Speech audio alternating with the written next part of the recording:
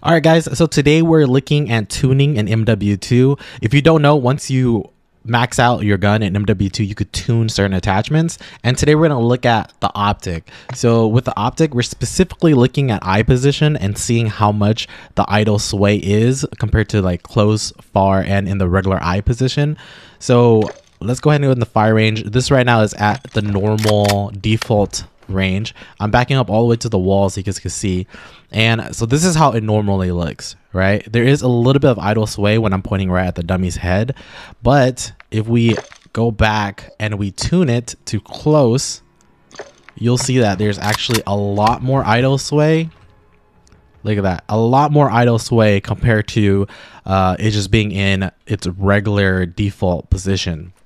Now, if we go back and we actually change the tuning to far, it reduces this idle sway, which can help improve your shots. You see how much less it, uh, it like sways when you're standing here compared to when it's really up close.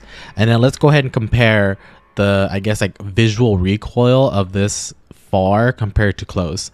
So this is far, all right guys.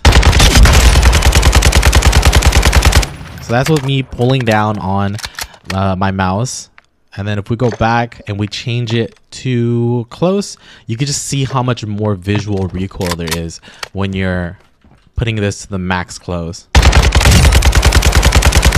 there's a lot more visual recoil. There's a lot more shake when it comes to the uh, optic here. So if you guys are maxing out your gun, you guys want to like maximize your accuracy, I definitely recommend switching this tuning to far if you're running an optic. If you're not running an optic, that's not an issue.